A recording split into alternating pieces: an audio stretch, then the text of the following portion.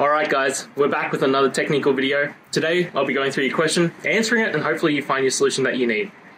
Guys, remember to stay just a little bit crazy like me, and hopefully you get to that resolution. Now, let's continue on to the video.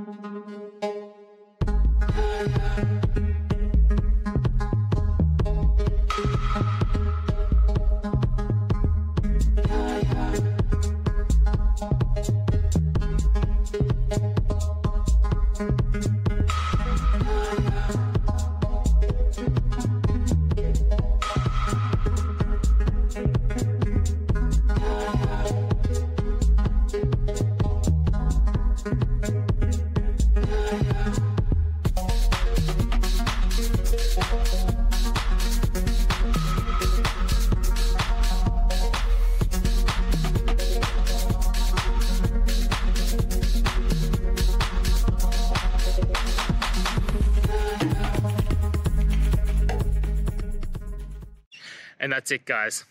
I hope you found the answer that you're looking for and got to that resolution in the end. If you did, please take a moment, hit subscribe. I really appreciate it.